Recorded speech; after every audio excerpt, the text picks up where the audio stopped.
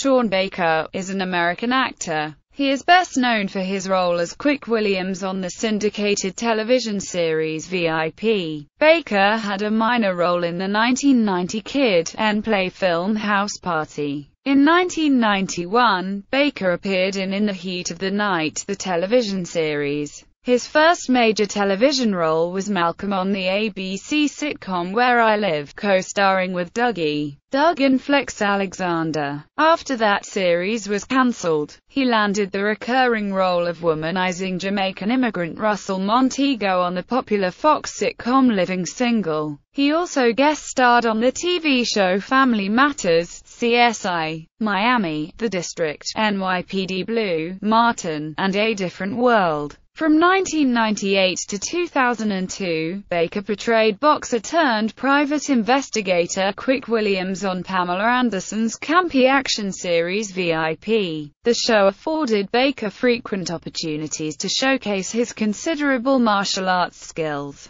He holds a first-degree black belt in Shotokan Karate. He is a member of Toastmasters International. He won first place in the international speech competition at the club, area, and division levels. He took third place at the division level. Baker started acting in theater in New York at 10 years old. His first professional production was in Oscar Brown Jr.'s play, In the Beginning. It was at the story of the creation, and he played the role of Adam. He continued to hone his acting skills while attending East Harlem Performing Arts. Baker graduated with honors from New York's famed High School for the Performing Arts. In Los Angeles he received rave reviews from critics and audiences alike for his portrayal of Mercutio in William Shakespeare's Romeo and Juliet, at the Artworks and Odyssey Theatres.